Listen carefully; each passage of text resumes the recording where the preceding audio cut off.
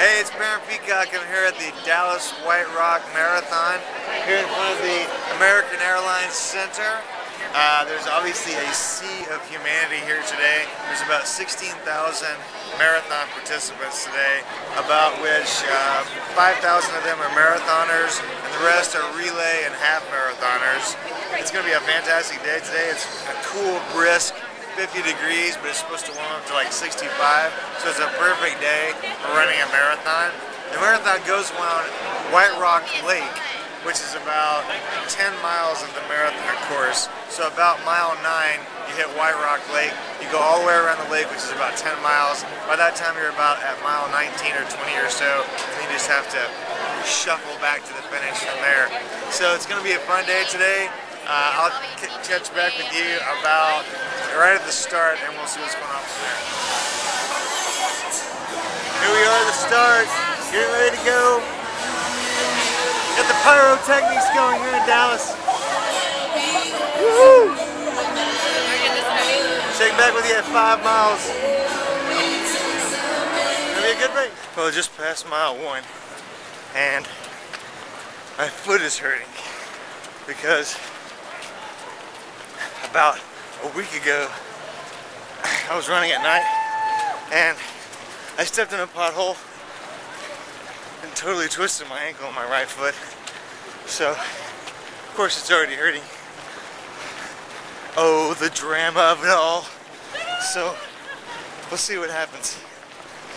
One thing I've learned is that once you get to like three miles, four miles, five miles, then things like that tend to work themselves out. A lot of times you may have a few little aches and pains, but hopefully once the blood flow start, the blood flow starts, then a lot of times it can kind of heal itself. So we'll see what happens. I'm thinking it's gonna be good. Thinking positively. There's the bells.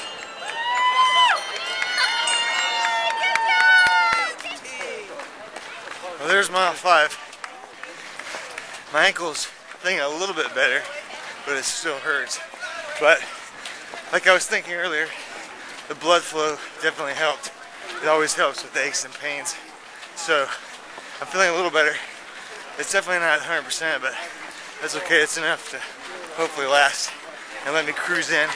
Definitely not going to push any marathon record paces today, but that's okay. It's all about the finish, right? So looking pretty good. Did a lot of stretching this morning. Some people have said that stretching is maybe not so good, but it's essential for me. I think some people, I think a lot of people really would probably be better off if they stretched. Especially the, especially the calves.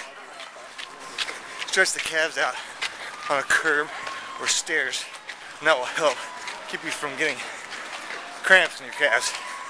So, looking good. Check back with you probably at either 10 or the half, depending on. All right. I Made it to the halfway point.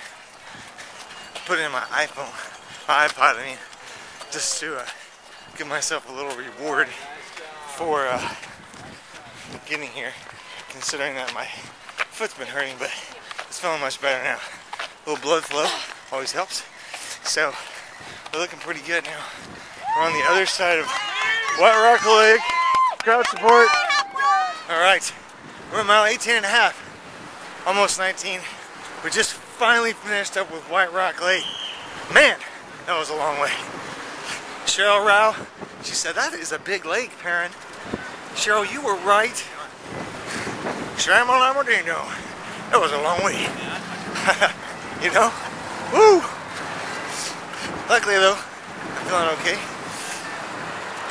Not feeling like really horrible, just mildly horrible.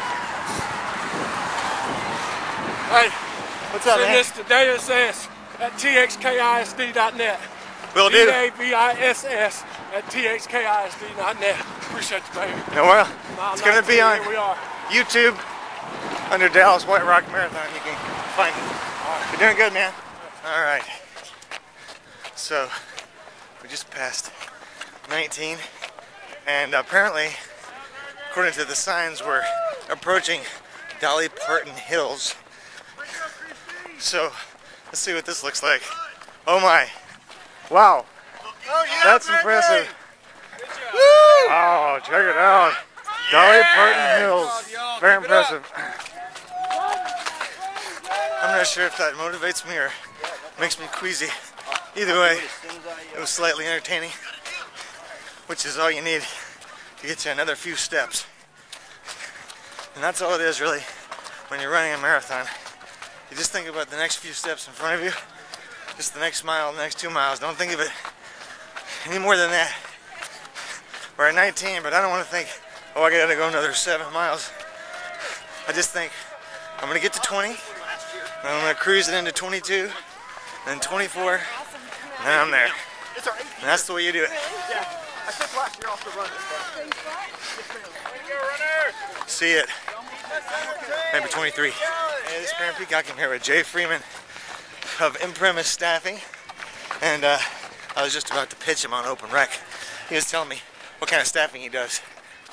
Oh yeah, and we do IT staffing, we do everything that takes place in the office, we do creative and marketing. And you have offices here in Dallas. Dallas, Fort Worth, Houston, and Austin. Awesome. Yeah. Is this the first time that you've ever been sold anything in the middle of a marathon? It is. Now you have to buy it. All right. I'll, s- I'll send it to you. Have a good marathon. okay, brother, thanks a bunch. Good All to right. meet you. All right. Mile 22. And, uh, thank you. I feel somewhat horrible still. But as they say, if the bone ain't showing, keep on going. And uh, as the ultra runners say, you start off slow and then taper. And that's what my strategy was. So I'm still moving, putting one foot proverbially in front of the other. Just like that. Woo! Good job, good job! Well, now I'm like a freight train running. They can't stop me. And uh, if you ever decide to run a marathon, just keep it in mind. You can do it. Just keep on moving forward. If you have to walk a little bit, no big deal. Rest, walk, keep on going. It's all about finishing. Only just a tiny few of us are, not, me not included, are ever able to run a three hour below marathon. Jim Tornes did that at the age of 55. So, being 38, I guess I have a little time to try to catch up with him. But most everybody else just needs to finish. All right, there's 26. We made it. It's been fun. Dallas White Rock Marathon. You know what happens next? As soon as we can see the finish line, use whatever energy you have left. It's gonna be soon. Here it is. There we go.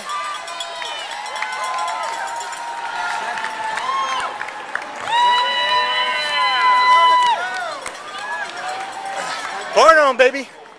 All you got. Don't leave anything out there. Woo!